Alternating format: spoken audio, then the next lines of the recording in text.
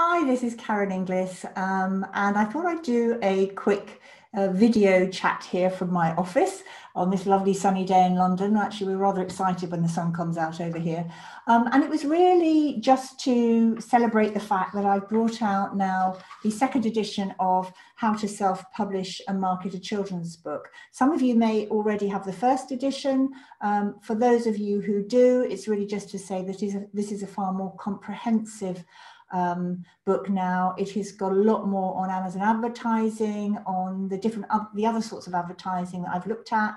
Um, there's a whole section on audiobooks, creating and marketing them, uh, as well as things like translation and foreign rights, and also um, lots of new platforms that have come on stream since 2018. As we all know, it's a fast moving market.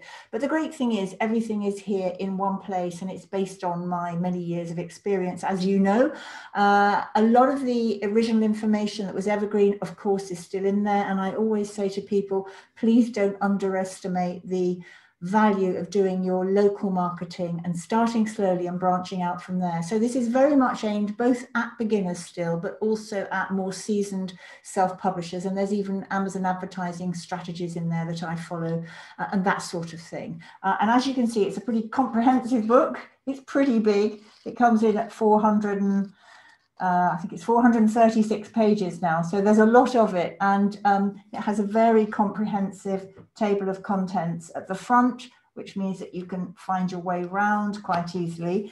But then for those of you who are um, already very established self-publishing and don't feel that you really need to read about how to go about the process, I then got the sibling, I'm calling it the, the sibling uh, title, How to Market a Children's Book. And this basically takes all of the marketing information from this book um, and repeats it in here uh, with the addition of translations, because I cover both translations and foreign rights in here. And translations really comes under how to self-publish.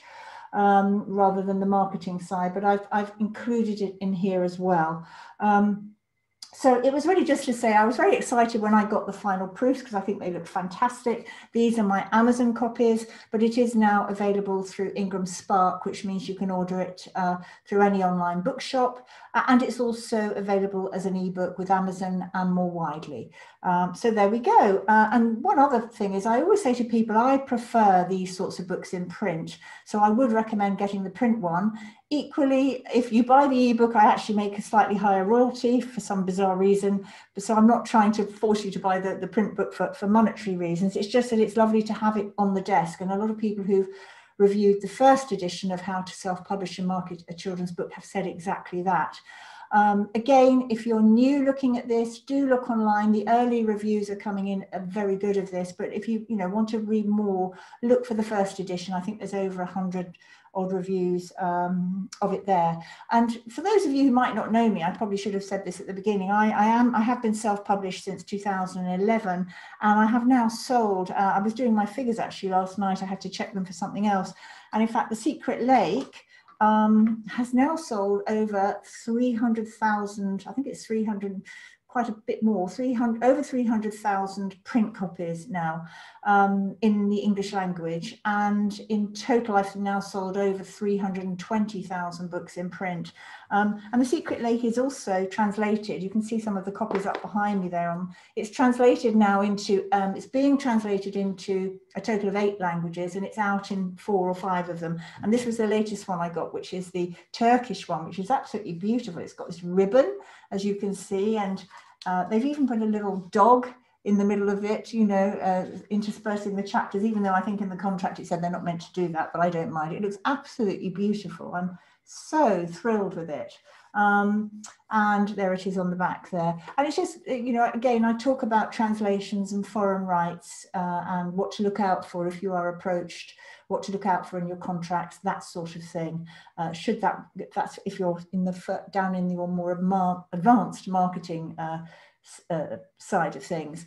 Um, but I also wanted to come back just to say briefly, um, I obviously the Secret Lake has sold a lot, but also I have sold in my thousands in my, my on my other titles, and so and you can still make a, a, decent income that way. And for example, the Tell Me Tree, which you can see over there, that's now that came out in July. That's a picture book, but that's now sold over three thousand print copies, and I'm getting lots and lots of feedback from schools who are using it. And, and all of my other titles have sold in their thousands. So um, it's not just about the big winners. Um, it's self-publishing, you know, there's a lot to offer if you do it properly. So um, if you know me, I would recommend getting either one of these two, depending on, on how, how, how much you want to see about the self-publishing side in here.